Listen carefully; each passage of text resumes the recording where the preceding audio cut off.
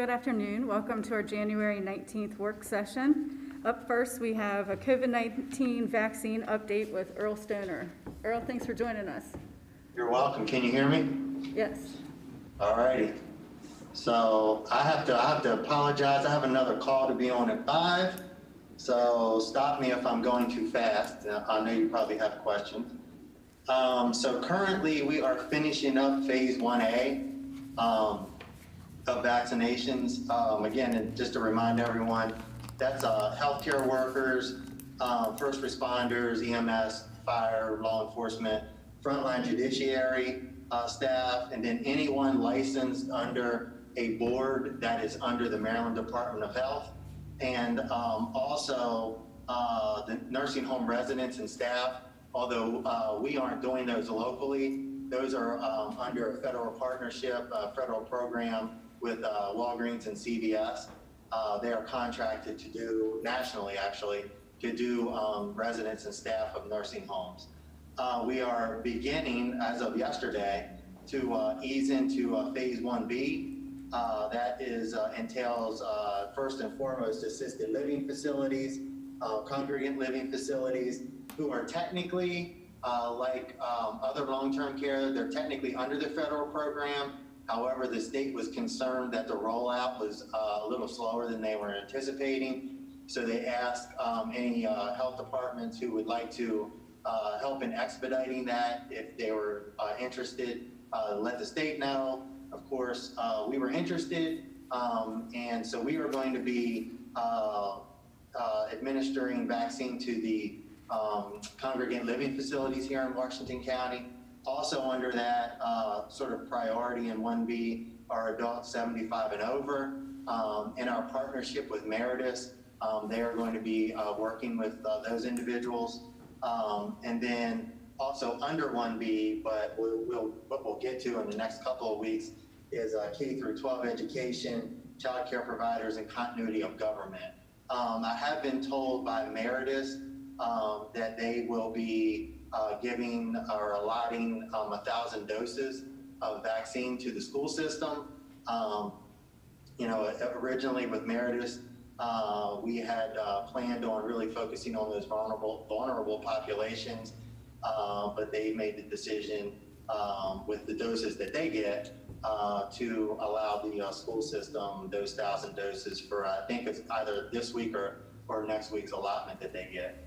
Um, so again, uh, we're really focusing on, in, in our charge from, um, the governor's office and from the state at this point in time, are, is focused on the vulnerable populations. Um, and specific to us, as I mentioned, congregate living facilities and the, uh, age seventy-five and older.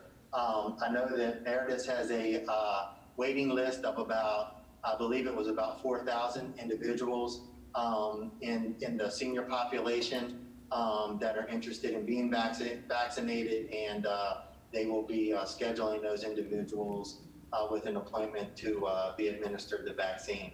Um, again, as I mentioned, we're finishing 1A and 1B. Um, as I mentioned, the state directed health departments and hospitals uh, to give priority to those vulner- vulnerable populations.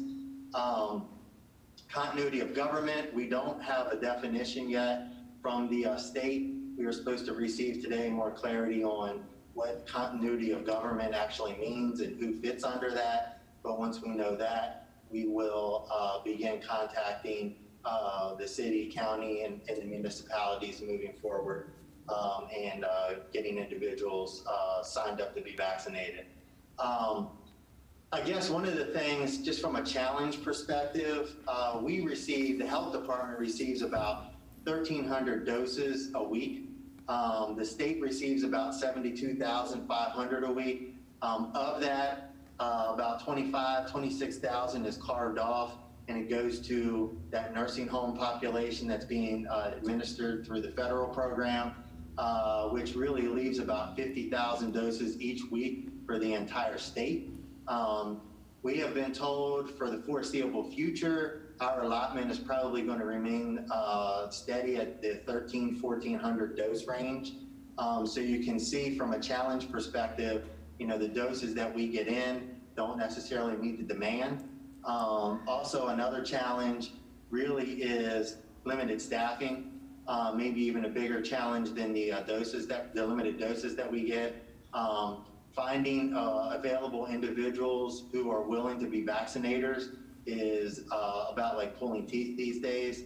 Um, they're in very, very short supply and heavy demand.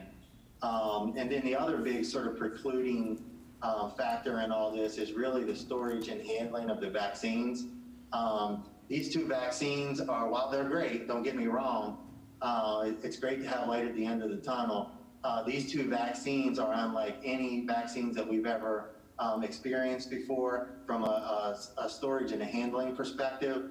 You know, with a flu vaccine, you can, you know, package those up, go out, you know, to a mobile site um, under a tent or in, in a building somewhere, and you don't have to worry about uh, the vaccine going bad. It can be re-refrigerated. But with these vaccines, uh, once they're taken out of the freezer and thawed, you have six hours to use them.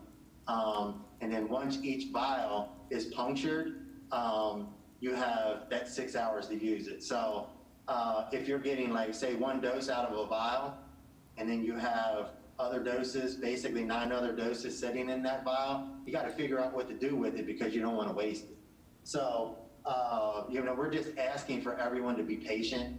Um, you know, there are uh, other um, avenues that the state is exploring, for instance, uh, expanding out to pharmacies. I believe next week. I don't have the details yet, but our Martin stores um, in the north end and out on the dual highway are going to be participating in a pilot uh, vaccination program through the state. Again, I don't know the details of that as of yet, but they're in the process now of really expanding out from the health department and from the hospital. But again, there's still only about 50,000 doses that we have available. Um, so expanding it just basically um, doesn't expand the number of doses that we have. So I know that there are probably questions, but I wanted to give you kind of a, a quick overview of that. Thank you. Do you guys have questions for Earl? I mean, I don't know, first of all, thanks for coming on and explaining that uh, to us, and not just us, but I think our citizens more so. I don't know that I have questions as much as I do a comment. I feel like we're about two weeks removed from a process that, that it's refreshing to hear last week, because I work in Frederick County for a small town there, and so uh, I think the conversations that your office and uh, your hospitals and doctors and distributors are having over the last two weeks, getting uh, the vaccine and getting it out to the public in, in the way the state wanted, um, isn't much different in that county or other counties across the state than it was here. So one, I wanted to applaud your efforts in sort of being in charge of, of cats almost uh, uh, in, in that regard, you know, because it's not something we, we really, or, or not we, but you have, you know, uh, uh, been given that, that, that charge uh, before to do. Uh, But we got a lot of feedback from seniors after we read the article in the paper. I mean, I mean, that's, for me, that's the bottom line. That's why I made the comments that I did and just said, look, you know, we need to do better than we're doing and making sure people are getting the right information at the right time in the right manner uh, to ensure that they're not being skipped over, that they're not being forgotten, uh, that we know what we're doing, uh, and that we're being fair. Uh, And, and so, you know, I applaud your efforts just as much as I do. Uh, uh, Dr. Josh, you called and said, hey, look, and I think just as you explained here a little bit ago, um, we're getting this stuff. It isn't like a pill you can just put on a shelf. And we can't, it's great to see a pyramid on paper, but you can't force people all in that one group to come in. You give a number, you expect that many, you don't get them. You don't want to get, you don't want the doses to go bad, and so you want to get them out to the public because you see the numbers just like we do, going up and up, and you don't want to lose that supply and the time associated with it. So uh, I definitely have a much better perspective now. I think we're doing a little bit better of a job of communicating uh, on our end that information to the public.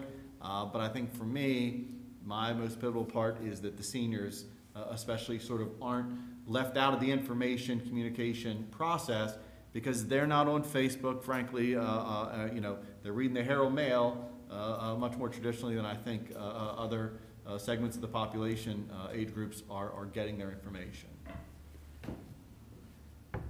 Earl, I know you have to go at, at five, but do you guys have any other questions for him? Just want to say thanks, Earl. Yep. Uh, You're welcome. Thank you. Yeah. Thank you. Good. All right. All right, thank you guys, I appreciate it. Thank Got, you. got you done right at five. Thank you. Off to the next one. Have a good one. All right, up next, we have preliminary agenda review. Just stop me if you have questions. We'll have a seven o'clock regular session. We're having an executive session before that. At what time? Uh, six fifty. All right, you go- So six fifty executive session, seven o'clock regular session. Call to order, have the invocation, do the pledge, read the announcements, and then we'll have citizen comments. They can email council comments at hagerstownmd.org no later than five o'clock next Tuesday. We'll have approval of the minutes from December first, December eighth, December fifteenth. On the consent agenda, the Department of Community and Economic Development, street closure request 2021, IT upgrade of ESRI GIS ARC server for 15500 Parks and Engineering, replacement of Parks and Rec office roof for 64900 Police Department, annual Barracuda backup service for $20,544. Uh, Police Interceptor vehicle purchases for eight 2021 Dodge Police Interceptors for $234,168. Upfitting of those 2021 Dodge Police Interceptors for $96,479.68. Uh, Tri-band TDMA encrypted radios for interceptors for $58,048.16. Dell Latitude 5424 mobile computers for interceptors, $20,190.88. For Public Works, a Ford F-150 Super Cab pickup truck for $30,653.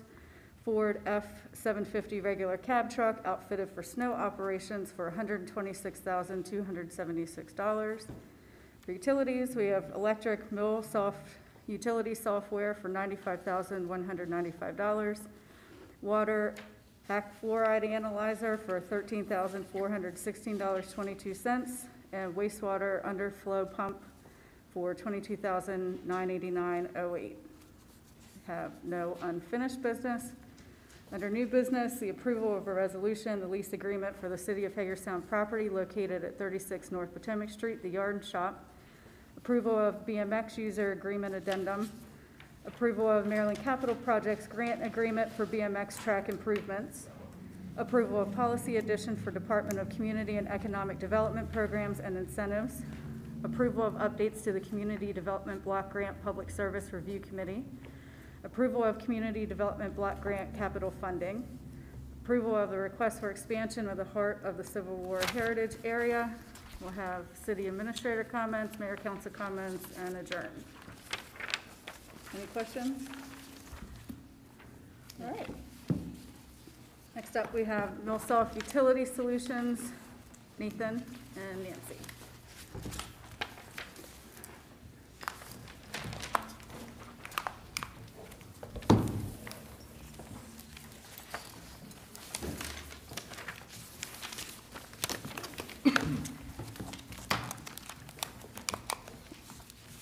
Uh, Good evening, Madam Mayor and members of council. Thank you for having us this evening.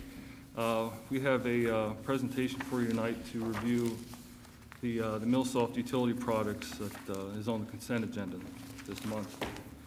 Um, The Hagerstown Light Department and Milsoft have been doing business together since 2008.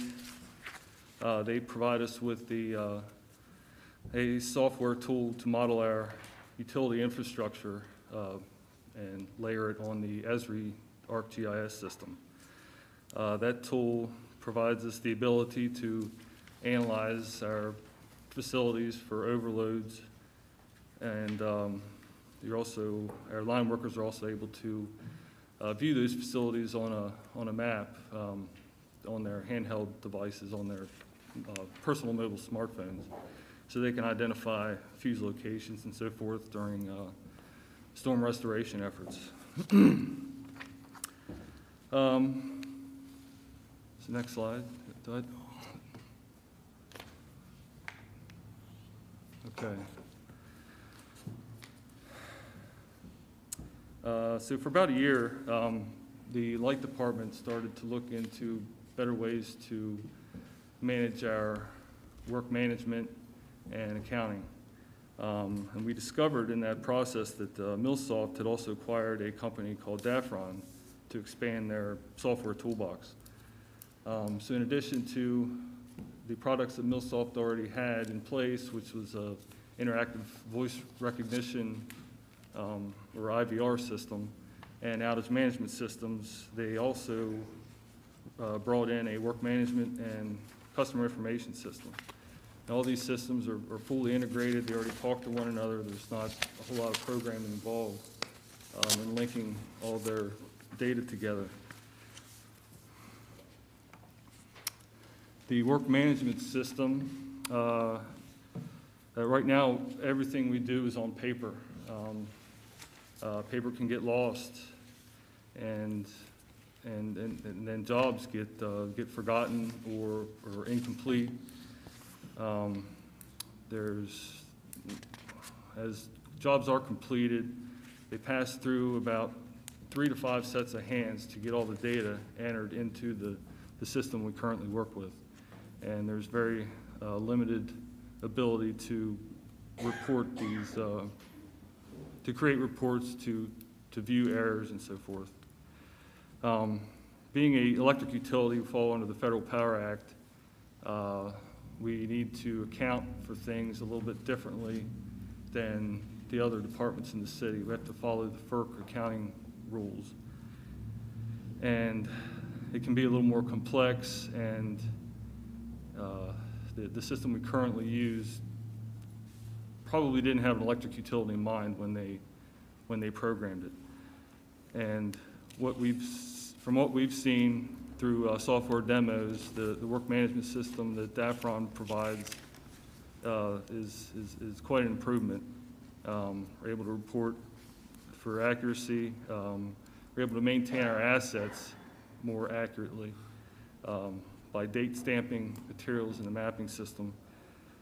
Uh, You're able to easily uh, check a box to compile information for, for uh, invoicing. Um, We, we invoice for insurance claims when individuals uh, strike a, a pole in the middle of the night, uh, that sort of thing. Um, We're also able to track the jobs a little bit easier, so if we want to see the progress of a job, we, an- anyone can go in, log in, and say, hey, okay, we're waiting on a permit, electrical permit, we're waiting on a state highway permit for flagging. Um, And again, it, it- it is, it's linked into the mapping system, so we'll be able to update the conductor sizes and so forth, which, which will help our engineers, uh, you know, uh, evaluate uh, any need for additional capacity on the system. I'll skip to the customer information system. Um, Again, same as the work management, I, I don't, we don't feel that the, uh, the CIS system we currently use had an electric utility in mind. Um, And so with this, we, we'd like to throw that in the mix as well.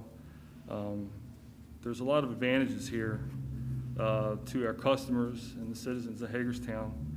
Um, Customer service representatives, uh, they open up the system, pull up an account. Everything is, all the customer's information is right there in front of them. They don't have to skip through uh, three to five different screens um, to pull up information and, and back out and use other, other uh, reporting methods to, to find information about the customers. Um, So a lot of the processes would be streamlined, uh, opening up a lot of time for our customer service reps to focus on the customer's needs throughout the day. Um, The, the system is hosted, so in other words, the, the hardware involved, the servers, will be off-site. Um, There's an advantage there because it would be more secure for the customers to make payments. All their information would, would not be um, here in the, in the city hall. Um, And also, there's no service to maintain, uh, upgrade as needed. Um, All, all the upgrades and so forth would be uh, uh, uh, all part of the, the annual maintenance or monthly ma- maintenance fees that go along with this. Um, The web portal that they propose uh, has a, a lot more functionality than what we currently see. The, they're able to select from various different payment methods. Um, Passwords are managed by the, the customer. They don't have to call the customer service representatives or email them if, if they lock themselves out of the account. Um, They're able to set up uh, a weekly budget plan, um, or, or however they choose to. There's, there's different options there. So if you get a bill that's um, a ninety dollar bill in the mail, and you know it's due in three weeks, you can set the system up to automatically draft out thirty dollars a week, um, if, if you so choose to. And um, there's also the communications through email and, and text messaging. Um, yeah, your, your bill is ready. Uh, your bill is, is due next week. Um, your bill is paid. Uh, those confirmations will come through a lot easier for, through our customers.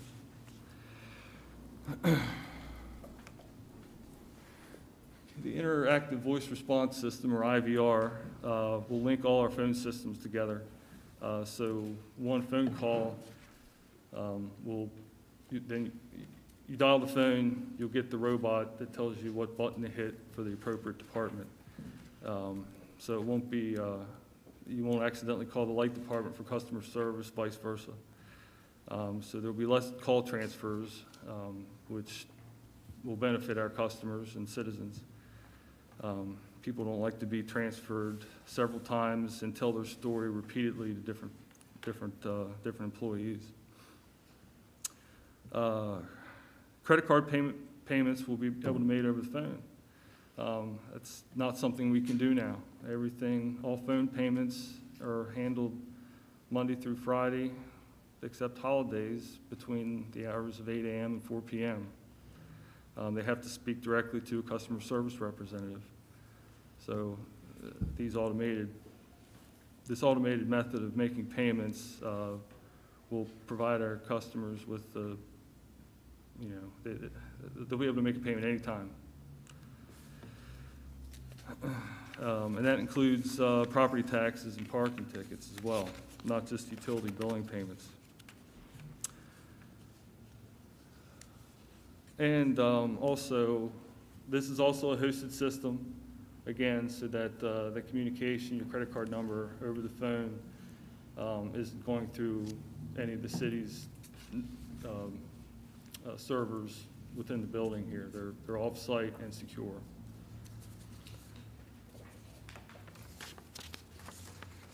Other third-party partners, uh, Invoice Cloud is, um, is the payment processing.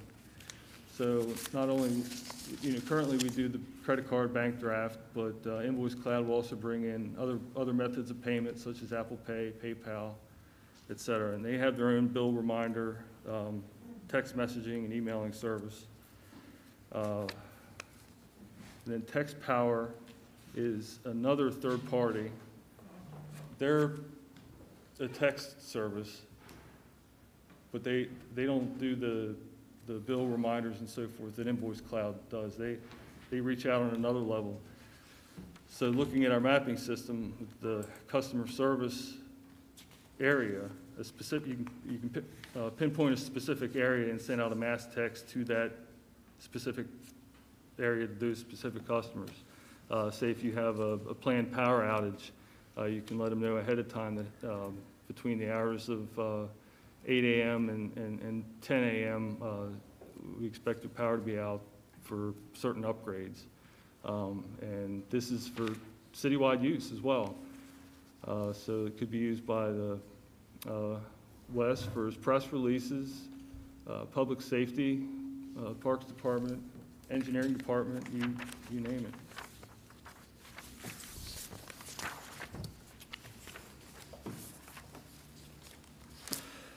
So the cost to perform this upgrade, uh, the upfront cost for integration into the existing system and to set the, set their system up the way we, we need it to, to be, to uh, function, uh, you're looking at about uh, $55,195. Um, Annually, we're projecting approximately uh, 77,736 a year. Uh, You break that out, the annual fees for support and maintenance and upgrades for just the software portion is uh, just shy of 60,000. And the calls, call fees, um, it is on a, it is on a uh, so many cents per minute plan. Uh, The call fees, you're looking at forty, $4,800. Uh, Text fees, up to 5,000 text messages per month using, through the text power, uh, you're looking at about 5,700. But there's also some savings that we, we expect uh, by moving away from the current customer information provider. Uh, That should uh, cut our budget on that end of about 26,500, we expect. And um, as paperless billing increases, we project if it goes from 10 to 25, we could see an additional savings of about $18,000. Payment processing, uh, same with today, we, we looked at September 2020. Uh, Those charges were approximately 41,500. So to move from that,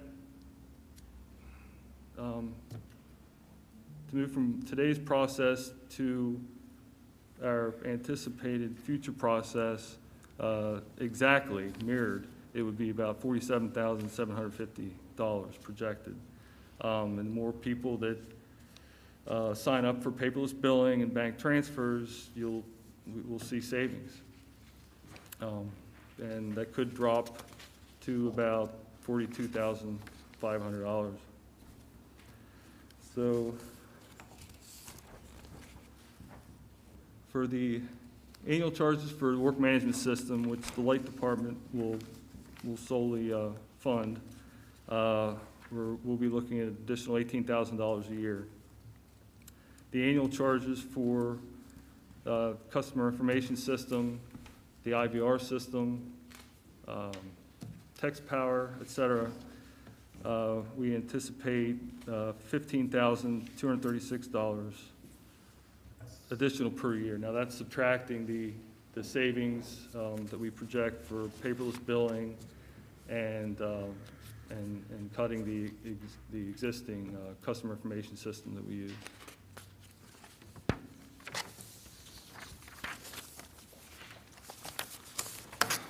So staff's recommendations, and I'm, I'm fairly comfortable saying it's collectively uh, through the, uh, the light department, the, well, the utilities department, um, IT, customer service, and finance that um, we, we recommend uh, moving forward with this, uh, this software toolbox. Uh, We feel it's a very affordable solution to improve our workflow and communications to our citizens. I thank you for your time this evening. If you have any questions, I'll try to answer them the best that I can. I think it's nice we're joining the 21st century. I, I agree. I agree. We've been looking forward to this for a very long time. I bet. Do you guys have any questions? No, I've sat in the utility department when I first came on the council, and I've seen the amount of manual entry, data entry, and, you know, a long list of people online, and was shocked that we didn't have this kind of system. So um, I think that it looks fantastic. And I love the fact that Parks and, you know, Wes can send out notifications of street closures, especially. So, um, yeah, I think that it's, I Now, I as- really as- like it. As long as the, the customer has their, their cell phone information in our utility Sure. system, Yeah. yeah, they'll be able to. I'm going to put some people in it. I'm going to make sure that. Okay. Do that. Yeah. Thank you, guys. Thanks again. All right, up next, we have proposed updates for awarding CDBG Public Service Grant. Lauren?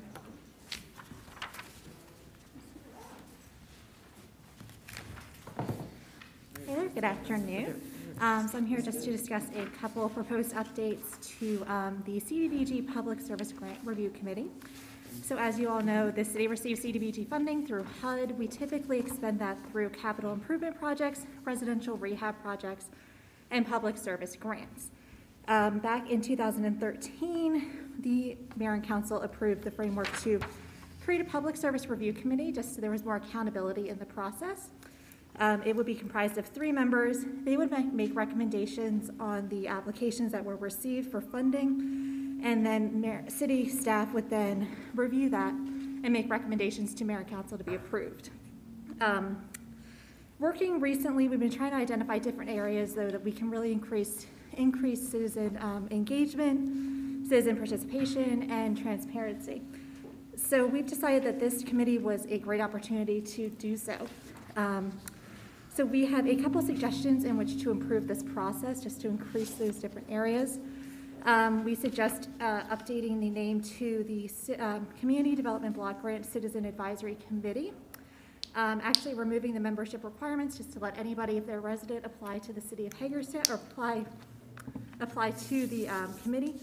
And just expanding the role to also assist with um, substantial amendments, other options within the CDBG program. Um, So members will still apply through a basic application, just with their interest, and we will still take those applications and those interests to mayor and council to approve to sit on the committee for a one to two-year term. You guys go with that?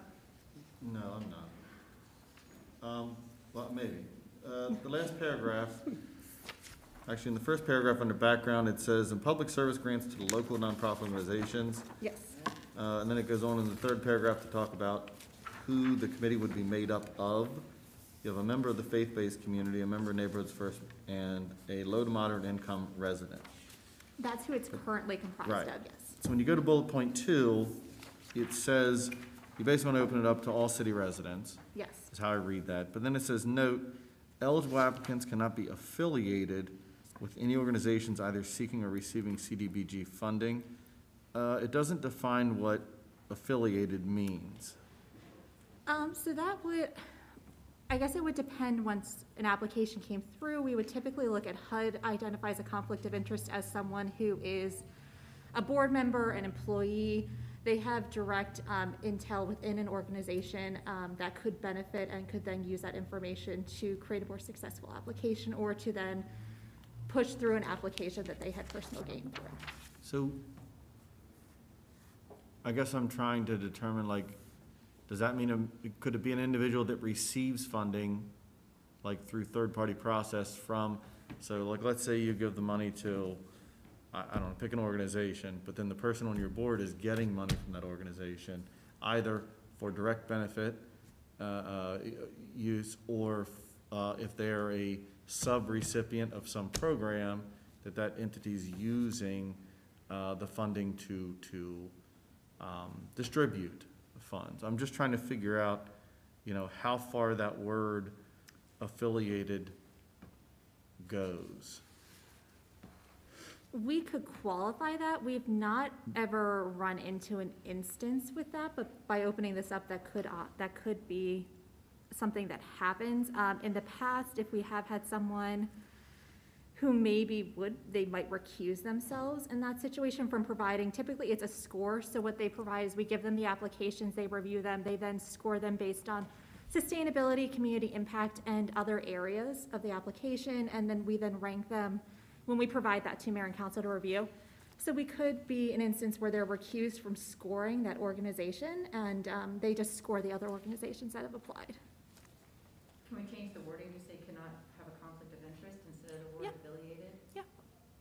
Of course. Yeah, and, I mean, I think that helps. The second concern I have, though, is you said with a preference to those that have a social services background. Um, I guess, and maybe this is me generally speaking, I don't, I mean, I see the three sort of different folks you have represented in this current makeup that you're looking to change, but could this become a committee of literally three folks from three different nonprofits, you know, administering these funds to other nonprofits? I mean, I'm just not, I'm, I'm just not comfortable with that. I just think that there's such a, a camaraderie within that atmosphere that, that, you know, it lends itself, uh, uh, to, to a very nebulous, uh, uh, um, uh, uh, application of what the word affiliated or conflict, even conflict means. Uh, I like, I liked, or I like, the, the, the way that, at least for now, you know, you have different individuals within the community, and I also frankly appreciate the fact that there is a low to moderate income individual, uh, represented on that committee. I just think it adds perspective, uh, to that process that you may lose otherwise if you have three folks that are purveyors of the services versus anyone that's a receiver of the service. But that's my two cents. Anyway, uh, I would be opposed to bullet point two. So, Do you guys have any thoughts?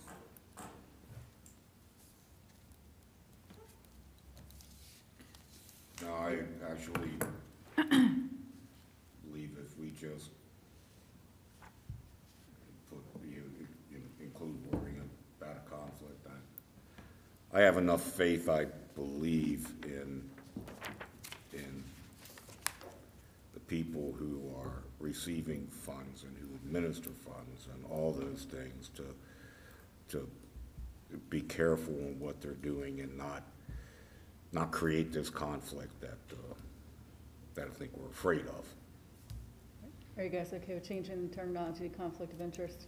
Well, and it is a little bit interesting to say with a preference to those that have a social services background and then cannot be affiliated with any organization. So it's kind of like, you know, or conflict of interest.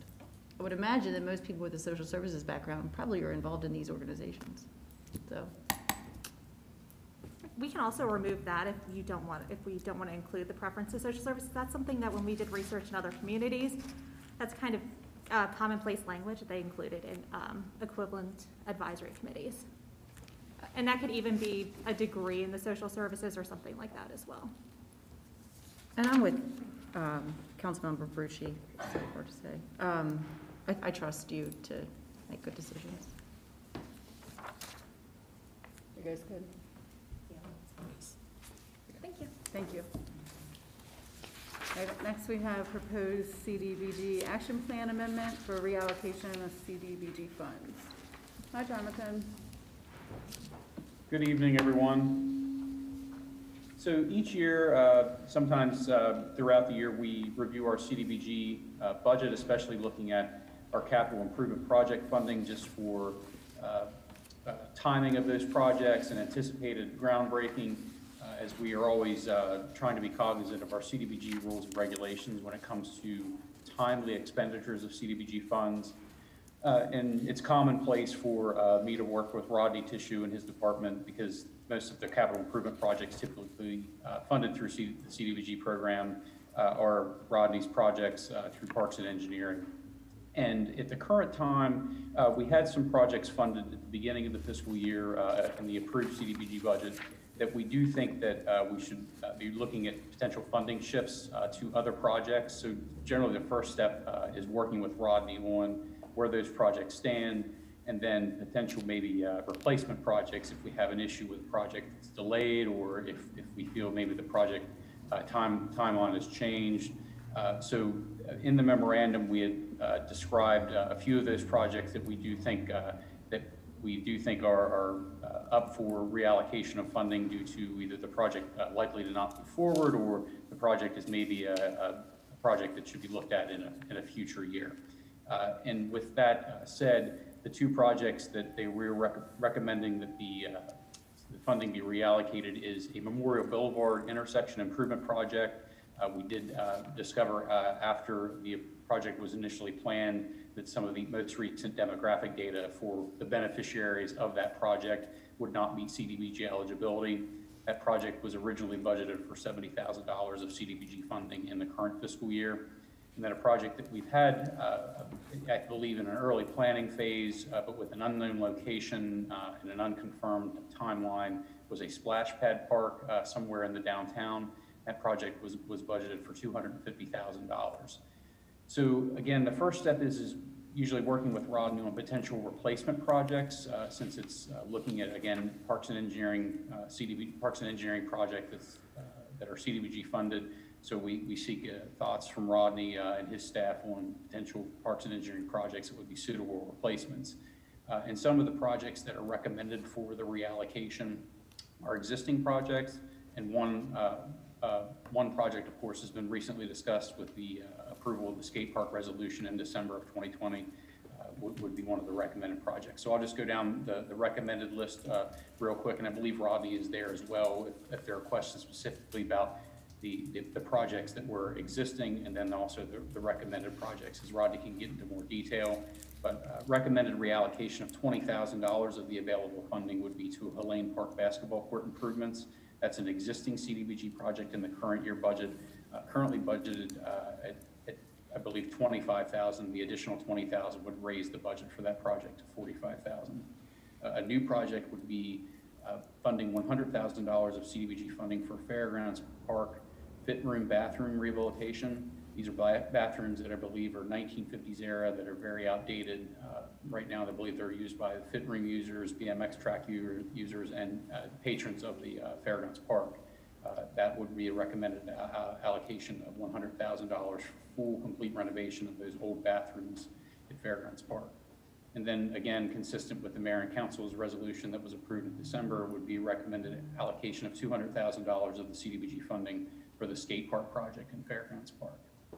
So these types of uh, reallocations require a- an amendment through the CDBG program.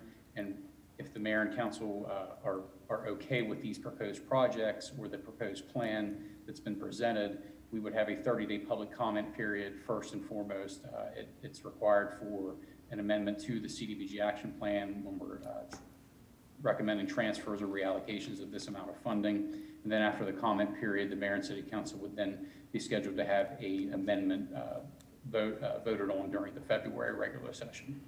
So uh, it- that's really the, the summary of it. If Rodney, if you want to maybe touch on your project uh, uh, thoughts here with, with needs and, and, and the shifts uh, and, and where the, the ideas came from with these, these recommended projects. Just real quickly, uh, Hellane Park has two basketball courts that are um, pretty standard fare, but what we would like to do there is uh, what we did in Wheaton Park, where we coated the court and put up new baskets that are very high quality. We'd like to do that for both the parks and, both the- the courts in Hellane Park.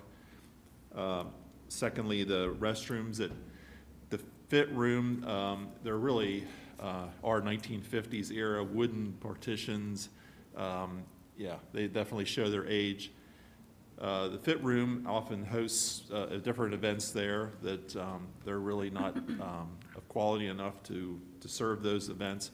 Plus, the BMX, uh, uses it as well. And they're gonna be getting a lot more people there as we hopefully get this national BMX event there, um, sometime here in the future. And then, of course, we know about the skate park. I don't need to go into all that, but that's our recommendations to reallocate. Yeah, I'm good. I'm fine. When you use the term reallocate, do you mean postpone or pulled? I would say, uh, I would say reallocate with, uh, again, the, the projects, uh, that were listed for the, the funding that was available. I believe the Memorial Boulevard Reynolds Avenue project, that's where Rodney would have to, to weigh in. We'd have to- I I that believe one's that's to be not pulled. eligible for CDBG funding in the future. I think the Splash Pad Park is, again, that's Rodney's answer better than mine. I would say our discussions, it's more viewed as a postpone, uh, but it would have to then obviously be rebudgeted in the future with future CDBG budgets.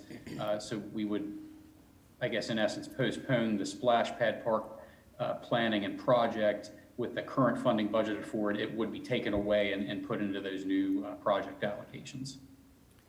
That's right. So in your long range, let's call it a CIP, uh, process, you're not moving any of these projects up, those three projects up and pushing any back. Is that correct?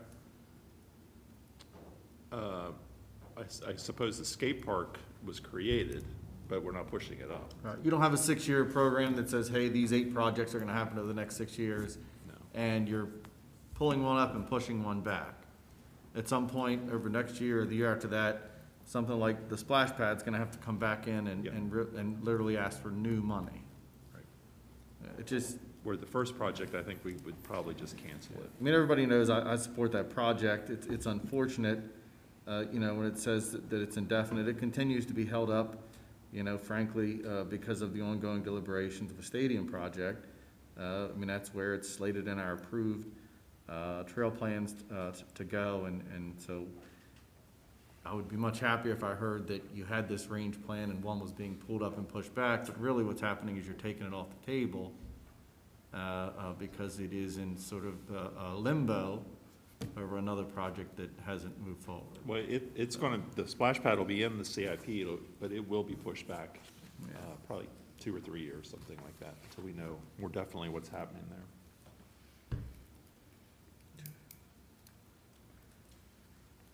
Are you guys good with it?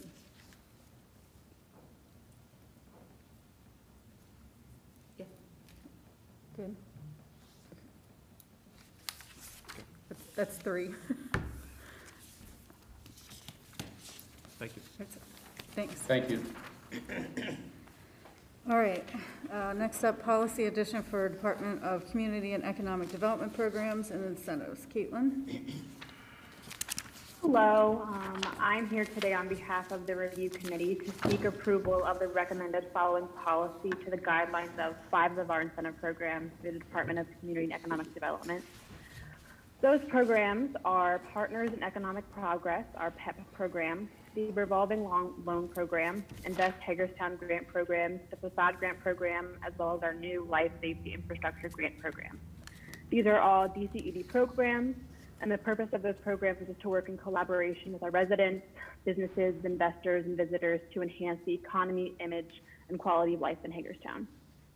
The policy addition um, that we are attempting to add to our policies, um, the purpose is to make sure that all the incentive funds for those five programs are used for their intended purpose that is outlined in the approved development plan and application submitted to our team.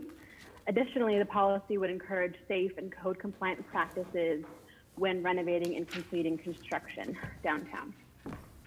So the proposed policy addition is as follows.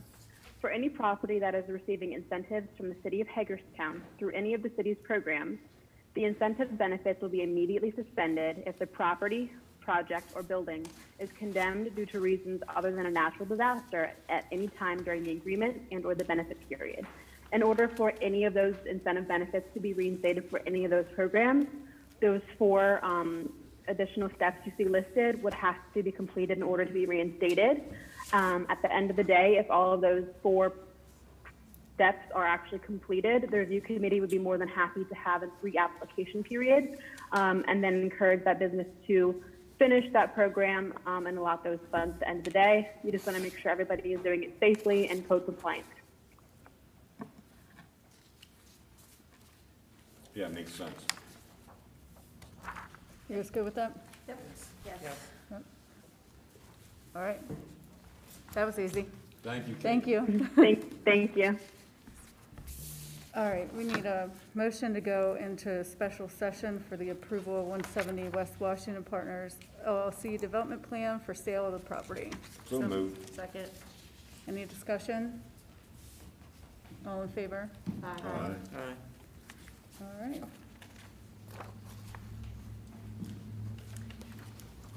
Madam Mayor, uh, I hereby move for the mayor and city council to approve the one seventy West Washington Partners LLC development plan for the redevelopment of one seventy West Washington Street.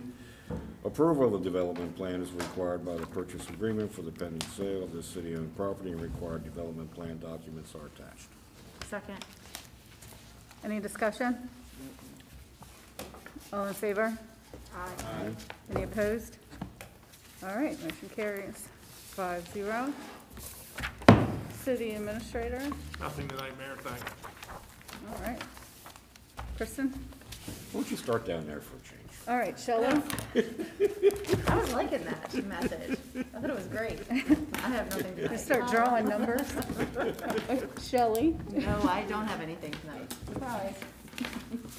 No, Madam Mayor, I'm good. No comments today. I don't have anything.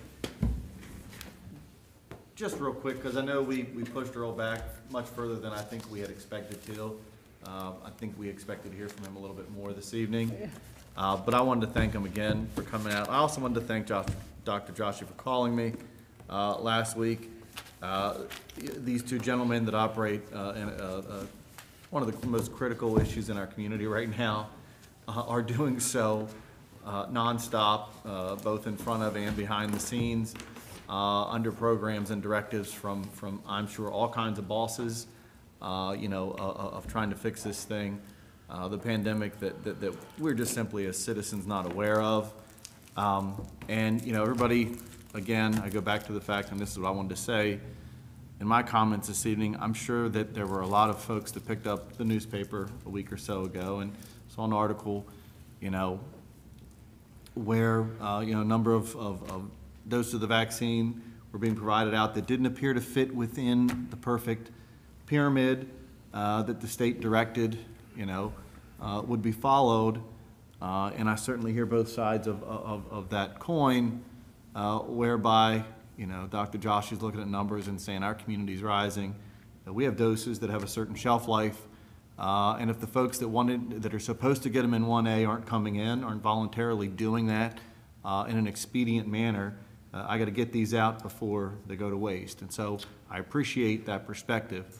I also appreciate the perspective uh, th- that Earl put out this evening whereby saying, look, this isn't an easy process to just go set up on, you know, uh, some building in, in some part of the community, uh, and, and, and, you know, hand out pills because of, of the dynamics, uh, of, of the medicine itself. Uh, at the same time, I also understand his sort of rock in a hard place where the state's saying, here's your direction, and the community stewards that, that, that are, you know, looking at the numbers, trying to figure out how to get it out, are saying, we hear your directions, but I'm not sure we can follow them to the letter that you're, you're being directed to direct us to do. Uh, and, and I know that that's, you know, no easy thing. What I will say this, though, is, um, in, in, I give the Herald Mail the benefit of the doubt, I think, uh, uh, in this one instance, but, um, you know, if we're gonna get information out to the public, uh, understand that a lot of your readers are seniors. Uh, they depend on that information to be delivered, uh, in a fair and accurate and, and responsible, uh, responsible manner. Um, and I think when seniors saw that, uh, the next morning and thought, oh, wow, they've moved on, am I getting skipped over? I wasn't aware of this. I don't have Facebook or an email or how to get in to the system and make sure that I get counted uh, and get my call and get in line when I need to. Uh, um, We just need to do better, uh, and the Herald needs to, to have a, a situational awareness uh, that this isn't just a story that you're putting in a paper uh, for folks to buy and read. Uh, This is a real critical issue uh, that a lot of seniors that have been cooped up for the better part of the last year read and, and react um, very emotionally to. So, Thank you. I just have two things. One, a reminder that the Hub City 100 miler kicked off on Saturday. So if you haven't registered, go ahead and walk at least a mile for the next 100 days. And second, our community survey that we've discussed at length was mailed out last week. I know people have already started to receive them and return them back, so make sure you keep your eyes open for that. And with that, we're adjourned. Thank you, guys.